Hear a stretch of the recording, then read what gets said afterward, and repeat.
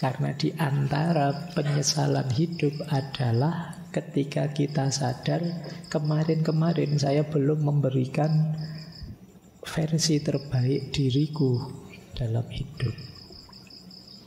Coba kemarin saya begini, coba kemarin saya begitu. Itu biasanya penyesalan hari ini. Kenapa ada logika coba-coba tadi? Karena kemarin saya belum melakukan yang terbaik. Kalau sudah melakukan yang terbaik semampu kita, meskipun hasilnya tidak memuaskan, ya kita bisa legowo. Ya nilai saya jelek, tidak apa-apa. Ya mungkin memang segitu kemampuan saya, saya sudah maksimal. Tapi ketika kita tidak maksimal, tidak memberikan yang terbaik, begitu nilai saya jelek, kita kan kecewa. Ah, coba kemarin saya agak serius sedikit ya, coba kemarin saya agak mempeng sedikit belajarnya.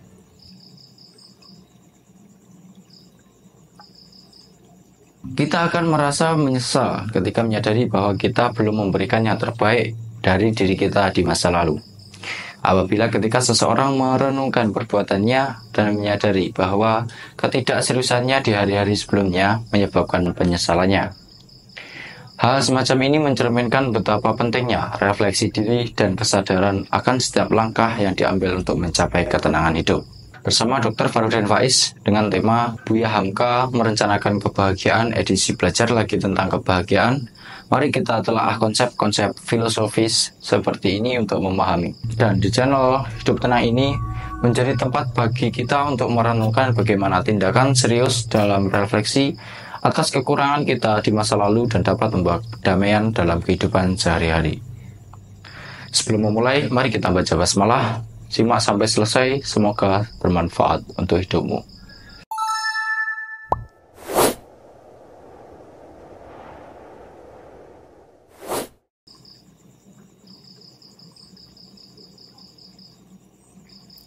Selanjutnya Hamka menjelaskan sisi batinnya, sisi imateri dari kebahagiaan. Ada empat. Ini menarik ya. Empat ini mungkin teman-teman menganggapnya jauh berhubungan dengan kebahagiaan, tapi ini dekat kata Hamka. Jadi apa sih kondisi batin yang penting agar kita bahagia? Yang pertama iktikot, yang kedua yakin, yang ketiga iman, yang keempat din. Ini sikap-sikap batin unggulan untuk orang bisa bahagia. Yang pertama, iktikot. Orang kalau ingin bahagia, dia harus kuat prinsip. Tidak mudah terpengaruh, tidak gampang diombang-ambingkan. Ini namanya iktikot, keyakinan yang kuat terhadap sesuatu. Itu iktikot. Nah, setelah iktikot ada yakin. Ini lebih dalam. Yakin ini lebih dalam daripada iktikot. Iktikot itu sekedar percaya dan mantap. Tapi kalau yakin, ini tahu alasannya, ngerti dalilnya, itu yakin. Jadi yang pertama kuat pendirian, yang kedua kuat pendirian dan tahu alasannya. Kenapa saya harus ini? Iya pak, karena ada dalil begini. Kenapa saya harus begitu? Yo argumennya ini. Ini namanya orang yakin. Nanti mungkin teman-teman ingat ya, jenisnya yakin itu kan ada tiga. Dalam epistemologi Islam disinggung juga oleh Hamka.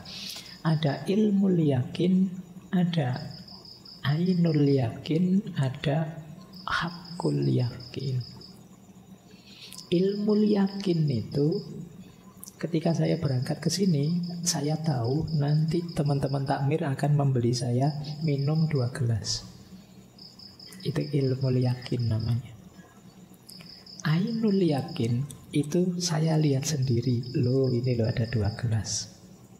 Hakul yakin itu gelasnya saya ambil terus saya minum.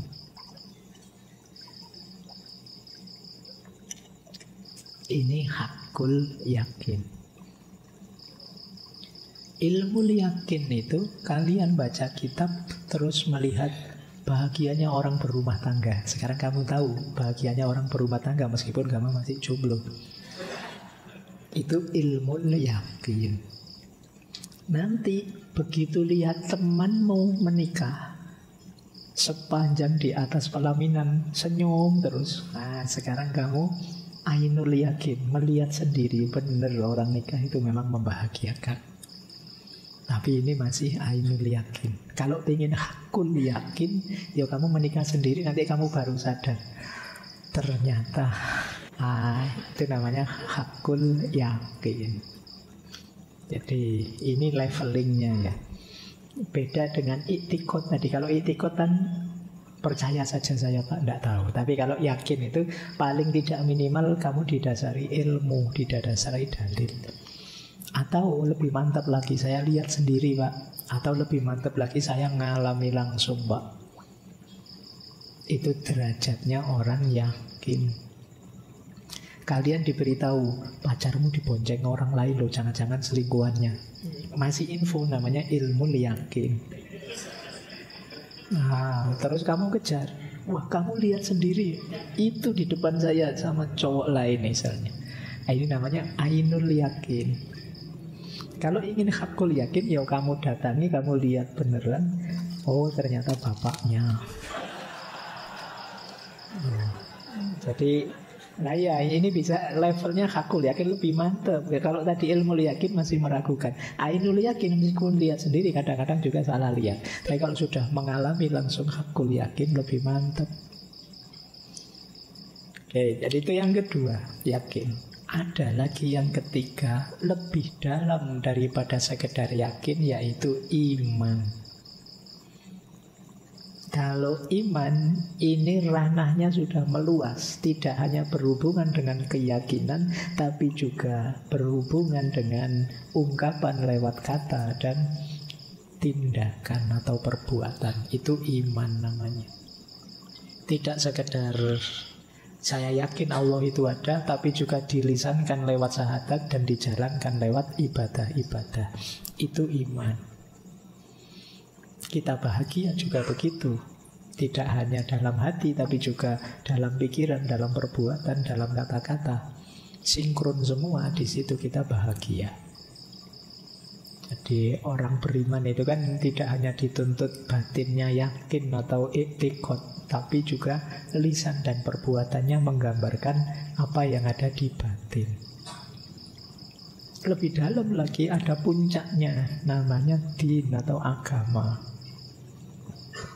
Cirinya apa? Agama lupa kan tadi sudah ada apa batinnya, lisannya, kemudian perbuatannya ya. Tapi kalau agama nambah satu variabel lagi yaitu keutuhan hidup kita sepenuhnya kita pasrahkan pada Allah. Jadi ada taslim, penyerahan diri sepenuhnya pada Allah. Inna sholati wa nusuki wa mahyaya wa mamati lillahi rabbil alamin. Itu sisi namanya agama. Jadi ini situasi batinnya orang yang bahagia. Itu yang paling awal namanya etikot. Lebih mantap lagi namanya yakin. Lebih mantap lagi ada pada iman. Lebih mantap lagi ada pada din agama. Ya karena nanti kebahagiaannya kan incerannya bahagia dunia dan akhirat. Baik, kalau yang yang sebelumnya tadi aspek materi lebih banyak bahagia di dunia. Kalau ini batin yang mengarah juga ke akhirat. Makanya ada iman, ada din. Sekarang kita jelajahi jalan-jalan menuju kebahagiaan. Untuk menuju kebahagiaan, kita harus memperhatikan dua aspek. Yang pertama aspek material dalam kehidupan kita Yang kedua aspek imateri Yang pertama apa? Aspek materialnya Syaratnya untuk kita bahagia nanti secara paripurna tuntas adalah sehat badan dan sehat jiwa. Sehat badan yang paling awal. Karena kalau fisik kita tidak sehat jiwa kita juga tidak akan optimal. Sepinter apa pun misalnya Pak saya itu pinter loh Pak. Akal saya itu buat mikir apa saja bisa. Tapi kamu ringkih gampang sakit. Waktunya enak-enak ngomong malah batuk. Tidak sehat kan? Tidak bisa optimal Maka kesehatan nomor satu. Kalau kalian ingin bahagia Sejak sekarang kamu rancang sendiri hidupmu Biar kamu tetap sehat sampai besok. Sedahsyat apa pun kamu Kalau sakit selesai sudah. Kamu sendiri yang ngatur ya hidupmu. Mungkin yang tiap hari melean di kafe-kafe. Mulai kamu manage. Hidupmu butuh istirahat. Meskipun bukan berarti istirahat terus Ya, Pak saya ini jaga kesehatan loh Pak Saya tiap hari tidak ngapa-ngapain biar sehat itu ya berdoa jadi cari rumus sehat yang positif. Ya termasuk kesehatan jiwa. Kesehatan jiwa itu berarti kamu menjaga pikiranmu, menjaga hatimu. Kalau fisik tadi jangan dimasuki misalnya oleh makanan-makanan yang tidak bergizi, makanan-makanan yang mengacaukan kesehatan. Ya, jiwa rohani juga begitu. Akalmu jangan disuplai hal-hal yang merusak. Hatimu jangan dikotori oleh hal-hal yang membuat kita buta, membuat kita gelap. Kalau isi pikiranmu barang rusak semua, ya cara pandangmu terhadap hidup juga rusak. Kalau hatimu gelap, hatimu sakit, ya hidupmu akan nabrak-nabrak karena hati itu kan yang mengorientasikan diri kita. Hati jadi kunci arah perjalanan kita ke mana. Kalau akal itu kan dia menguatkan, mendukung atau melemahkan. Dua-duanya penting. Kalau ingin bahagia, sehat badan dan sehat jiwa jadi kunci. Seandainya semua hal beres, hanya kesehatan badan dan jiwa saja yang tidak beres, itu namanya tidak beres juga. Jadi jangan dikira kesehatan itu sepele. Apa sehat itu kan fisik saja, iya. Tapi tanpa itu hidupmu akan tidak akan bermakna. Jadi jaga kesehatan makanya mensana ah, ya dalam tubuh yang sehat terdapat jiwa yang sehat. Maksudnya dalam pengertian seperti yang saya jelaskan tadi. Meskipun ya kalau dibalik juga bisa dalam jiwa yang sehat akan ada badan yang sehat. Jiwa sehat itu berarti kan berpikirnya jernih, hatinya juga terang. Kalau orang berpikirnya jernih, badannya mesti sehat. Kenapa? Dia tahu apa yang membuatku sehat dan harus aku lakukan, apa yang membuatku sakit dan harus aku jauhi. Nah, kok kamu ngaku pinter tapi tidak tahu caranya hidup sehat, ya berarti kamu kurang pinter. Jadi orang pinter itu ya tahu cara menjaga kesehatannya. Nah, jadi ini rumus pertama kalau ingin bahagia. Sehat jiwa, sehat raga. Kalau lagu Indonesia Raya itu kan bangunlah jiwanya, bangunlah badannya. Jadi dua-duanya harus bangun, harus sehat semuanya. Dan saling mempengaruhi. Tidak bisa sehat salah satu saja. Harus dua-duanya sehat. Sakit di salah satu alamat yang lain terpengaruh.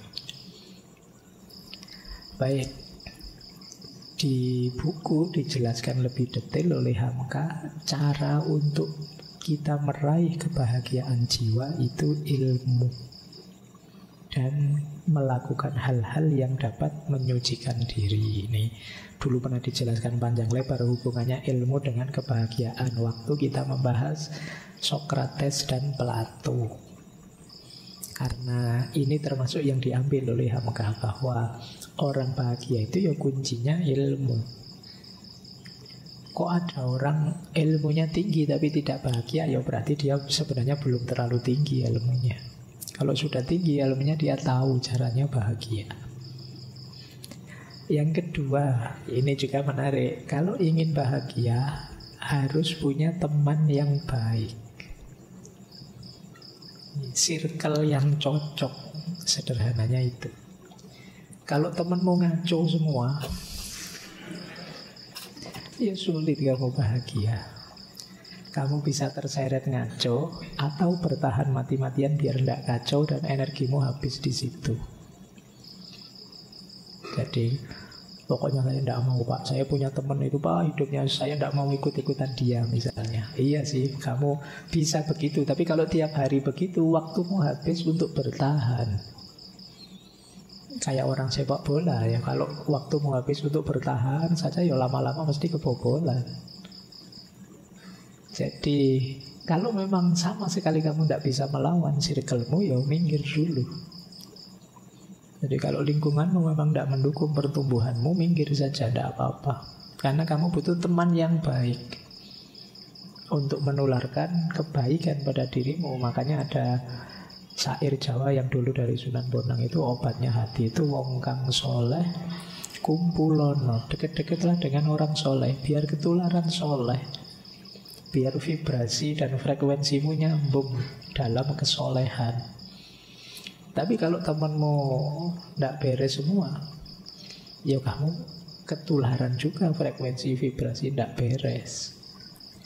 Jadi cari circle yang cocok untuk pertumbuhan cita-citamu. Kalau kamu pinginnya jadi pemain band kan kamu harus deket-deket teman-teman yang senang musik. Kalau kamu pingin jadi apa, deket-deket dengan teman yang sesuai dengan apa keinginanmu tadi. Ini circle. Jadi cari teman yang baik, yang mendukung kebahagiaanmu. Jangan cari teman yang mengacaukan ritme hidupmu, apalagi yang benci kamu, apalagi yang dendam padamu, apalagi yang dengki padamu. Kamu tidak akan tenang hidup. Baik, jadi ini yang pertama ya, untuk bahagia dalam aspek material kebahagiaan ada dua karakter kunci kalau kita ingin bahagia. Yang pertama kemampuan untuk kona'ah. Yang kedua kemampuan tawakal. Jadi tadi kan sudah ada lima Sekarang tambah dua. Kona'ah dan tawakal. Kona'ah itu kemampuan kita Untuk mencukupkan diri dengan apa yang kita punya. Jadi Kona'ah bukan berarti anti dunia. Kona'ah itu sikap batin kita yang punya apa saja kita merasa cukup. Jadi punyanya hanya motor satu, oh iya pak, cukup apa motor satu itu saya kan mobilitasnya paling ke mana, itu, itu namanya orang kona'ah. Kuliah ternyata nilai saya kebanyakan B pak. Tapi tidak apa-apa cukup itu pak. B saya penting lulus. Ini namanya kona'ah. Ini contoh saja ya jadi maksudnya apa? Kona'ah itu kalau menurut Hamka orang kona'ah itu orang yang mencukupkan sesuatu yang dia butuhkan. Jadi mencukupkan diri dengan hal yang diperlukan oleh dirinya Bukan berarti tidak bekerja. Ya bekerja. Tapi hasilnya apa pun dan berat apa pun akan saya anggap cukup untuk hidupku. Ini namanya orang kona'ah. Orang kona'ah itu tidak banyak menuntut dan mengeluh. Apa adanya saja kita nikmati. Ini orang kona'ah. Di antara cara mudah untuk segera bahagia itu membangun jiwa yang kona'ah. Kita selama ini sering salah rumus. Ketika ingin bahagia kita target ini, target itu yang belum kita miliki. Akhirnya bahagia kita lama. Kalau ingin segera bahagia, ayo kita hidupkan kona'ah saat ini. Otomatis kita akan bahagia saat ini juga. Kita akan Alhamdulillah ya Allah Alhamdulillah kebutuhan saya terpenuhi yang kedua, tawakal. Tawakal itu satu sikap batin yang kita hidupkan setelah ikhtiar kita jalankan. Itu tawakal. Saya sudah berusaha maksimal Pak semampu saya. Apa pun hasilnya saya pasrahkan pada Allah. Itu tawakal namanya.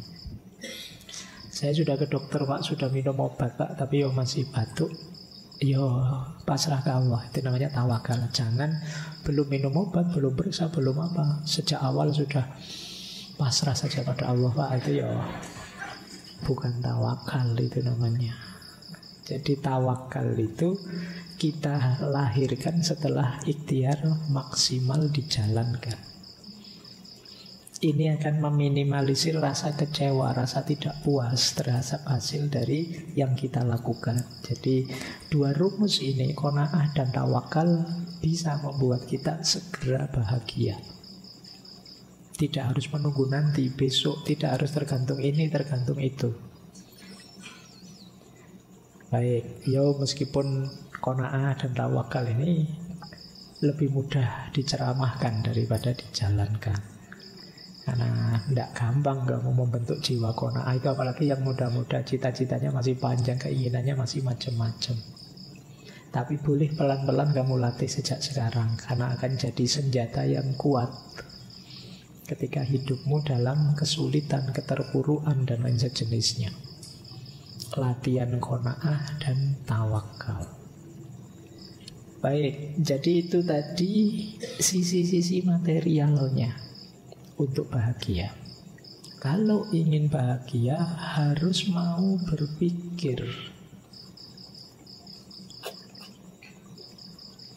Ini kelihatannya simple. Loh kan otomatis, Pak. Apa ada orang yang tidak mikir? Menurutmu kan begitu, tapi sebenarnya banyak. Iya, banyak orang yang tidak mau mikir. Bahkan yang muda-muda ini banyak loh Kadang kalau saya tanya Gimana mas? Rencanamu ke masa depan? Alah pak saya mengalir saja. Nah iya kan? Nah, Itu kan alamat. Kamu tidak mau mikir Mesti tentang hidupmu. Kamu tidak sungguh-sungguh merenungi hidupmu Menemukan titik-titik kebijaksanaan Mencari titik-titik keputusan yang penting Yang membuatmu jadi lebih baik Lebih baik. Syaratnya tetap mau berpikir Hari ini kan hidup ini rasanya diombang-ambingkan dari satu viral ke viral yang lain. Kamu tidak pernah berpikir, apa iya saya harus mengikuti viral itu, apa ya saya harus update yang seperti itu. Kan kamu tidak pernah mikir begitu. Jadi ini seolah-olah biasa Pak Orang hidup mesti mikir Tapi sebenarnya banyak orang yang Kalau bahasa saya autopilot saja hidupnya Autopilot itu kan serutik Wis kaya ngono Terus diulang Ulang tiap hari. Makanya kadang-kadang kalian kaget loh Sudah rebu lagi ya Pak? Cepet ya? Lah ya kalian memang hidupmu nggak pernah direnungi ya berjalan begitu saja. Tidak berpikir ya sulit kamu sampai di titik bahagia. Karena kamu terombang ambing terus ke sana kemari oleh aliran hidupmu syaratnya orang bahagia berpikir Kata Hamka, dengan berpikir kita ketemu kebijaksanaan. Kebijaksanaan itu kan rumus hidup yang tidak hanya benar tapi juga tepat. Hidup yang tidak hanya benar tapi benar, kata orang Jawa. Itu kebijaksanaan. Tidak sekedar punya koleksi ilmu tapi juga tahu bagaimana mengaplikasikannya sesuai ruang dan waktu yang tepat. Untuk sampai di titik-titik semacam ini Mau tidak mau kita harus berpikir Itu kalau ditarik-tarik lebih jauh Berarti kamu harus belajar cara berpikir yang benar Dan disiplin yang mengajari kita cara berpikir yang benar itu logika Ilmu mantek Adanya di filsafat Sayangnya kadang-kadang filsafat kamu anggap haram. Sudah males mikir, filsafatnya haram, ya selesai. Jadi kamu kehilangan modal besar yang diberikan oleh Allah padamu, keistimewaan puncak kebanggaan manusia, yaitu natik berpikir. Oke, terus. Selain berpikir kita juga bekerja. Ya, Atau boleh berkiprah Boleh berkarya sama. Yang berhubungan dengan nilai diri dan kemanfaatan diri kita. Itu akan jadi sumber kebahagiaan Jadi bekerja tidak terbatas yang karir yang menghasilkan uang Itu iya Tapi mungkin ada orang yang berkarya, beraktivitasnya secara tidak langsung menghasilkan uang, tapi dalam rangka penegasan makna diri, nilai diri, dan lain sebagainya. Jadi ini juga jadi kunci kebahagiaan. Kemarin waktu siapa tokohnya itu mungkin di Russell apa siapa itu kan disebut bekerja itu kebanggaan. Jadi sama-sama stresnya Mending stres karena pekerjaan daripada kamu stres karena nganggur. Jadi itu istimewanya kerja. Dulu kita pernah membahas satu sesi itu kan tentang kerja. Yang di situ disebut kerja itu rahmat, kerja itu ibadah, kerja itu amanah, kerja itu izah, kemuliaan diri. Kalian tidak boleh beralasan, Pak saya ngelamar sana, ngelamar sini tidak diterima. Ya kalau itu kan karir namanya.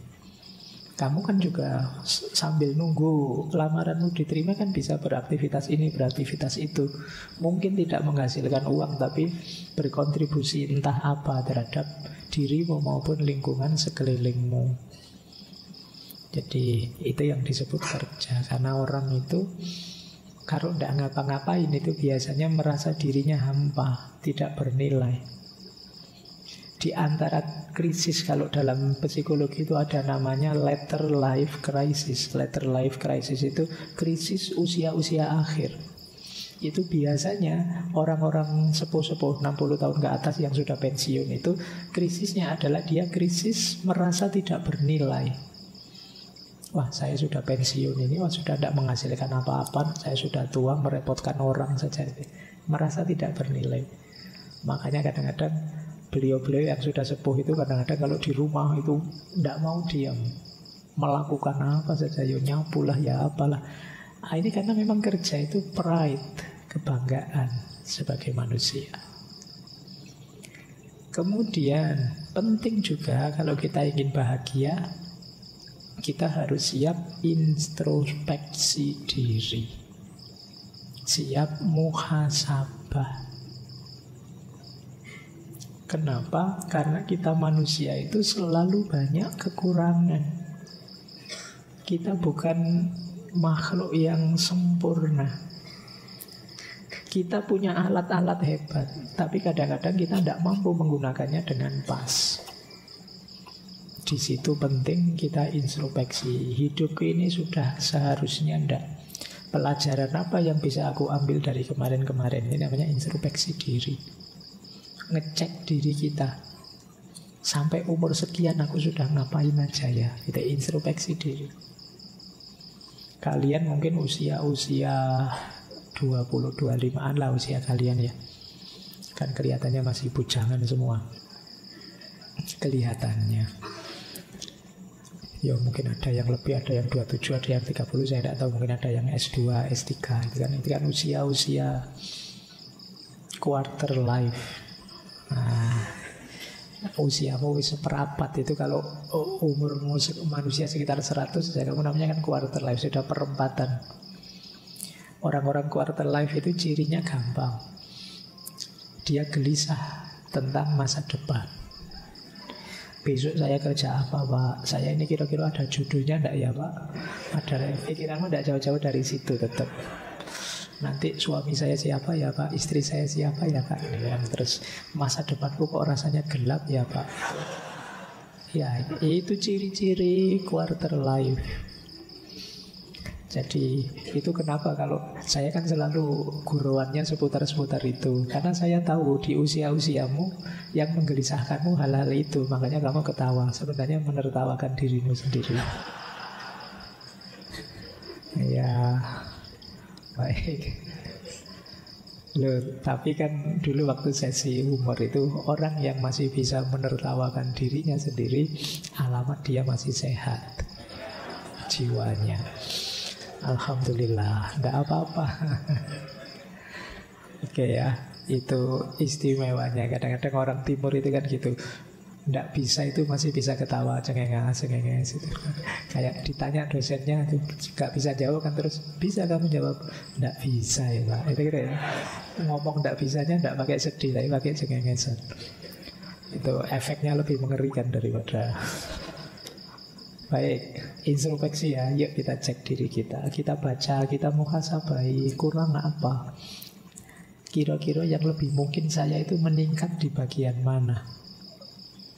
Karena di antara penyesalan hidup adalah ketika kita sadar kemarin-kemarin saya belum memberikan versi terbaik diriku dalam hidup. Coba kemarin saya begini, coba kemarin saya begitu. Itu biasanya penyesalan hari ini. Kenapa ada logika coba-coba tadi? Karena kemarin saya belum melakukan yang terbaik. Kalau sudah melakukan yang terbaik semampu kita, meskipun hasilnya tidak memuaskan, ya kita bisa legowo.